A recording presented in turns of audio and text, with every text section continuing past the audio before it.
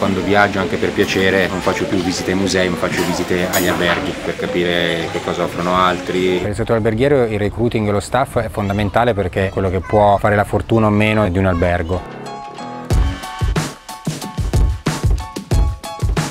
Quando posso faccio sempre sport la mattina che mi dà energia per iniziare la giornata, quindi tennis o palestra almeno 3-4 volte a settimana, sempre presto in modo poi da iniziare la giornata lavorativa poi eh, alla solita ora.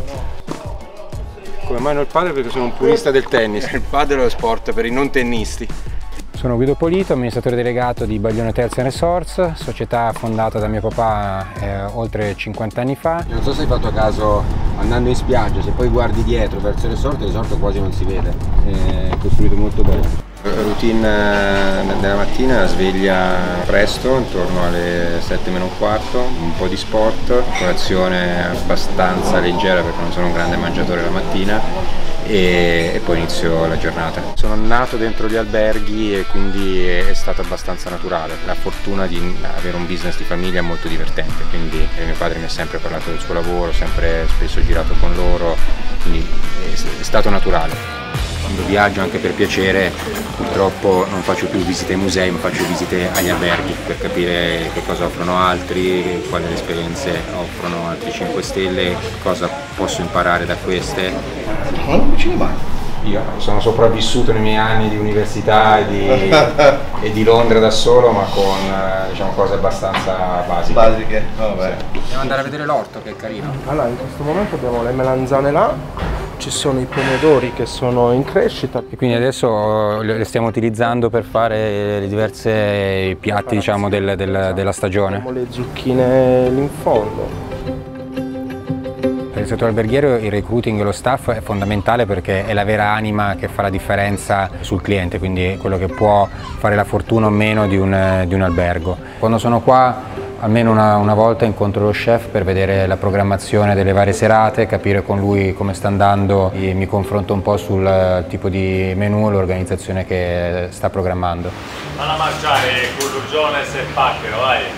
Nemmeno fai il facchino senza passione in questo lavoro, è un lavoro di passione, infatti or oramai anche nel recruiting del personale guardiamo solo la parte caratteriale, quella tecnica la, la puoi insegnare, la passione non la insegni la voglia di fare, di, di, di, soddisfare il cliente, di sorridere in modo genuino, non perché lo diciamo noi che deve sorridere al cliente.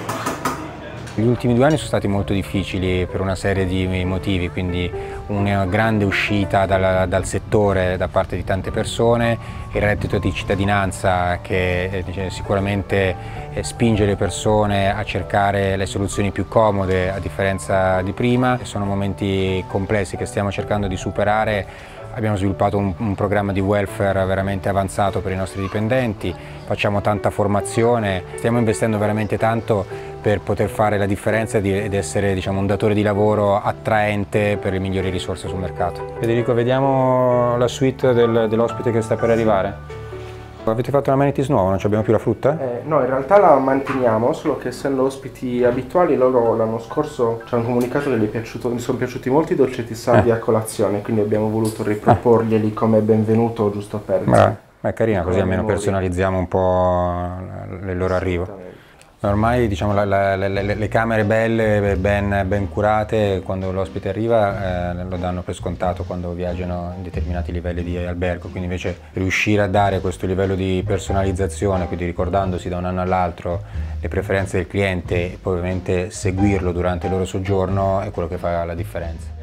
Sì, la nostra decisione di venire Puntaldia e non eh, a Porto Cervo in Costa Smeralda era proprio per la volontà di dare un lusso alternativo ai clienti che viaggiano in Sardegna dove fino ad oggi eh, se volevano un albergo di lusso dovevano stare in Costa Smeralda. Noi intendiamo il lusso in modo più rilassato. Per me era importante fare un luogo eh, ben curato, elegante ma allo stesso tempo corretto per questo paesaggio. Non volevo un lusso pesante l'aperitivo durante le giornate di lavoro è, è invece uno dei momenti di, di, relax, sia quando sono in giro per gli alberghi, sia a casa, perché appena arrivo a casa uno spritz o, o una birra, la piscina, la piscina di spritz chiudono una parte della giornata e inizio poi quella di relax serale a casa con la famiglia. E da quando ho avuto la bella idea di sviluppare la parte resort sono finite le vacanze estive. Giriamo continuamente i, i vari resort durante l'estate e sicuramente sono posti stupendi dove lavorare, quindi non ci si può lamentare in nessun modo però non sei mai completamente rilassato al ristorante ma quando mangiamo sì, quando, quando, quando, mangiamo continuo a guardare, a sentire, a ascoltare il commento dei clienti però fa parte del lavoro, ripeto, poi molto meglio questo tipo di lavoro che altri, quindi non, secondo me poi è anche il segreto di far bene il lavoro. Il proprio lavoro poi questo che è fatto di tanti piccoli dettagli magari trascurabili singolarmente, poi se li metti tutti insieme all'interno di una giornata fanno la differenza per il cliente.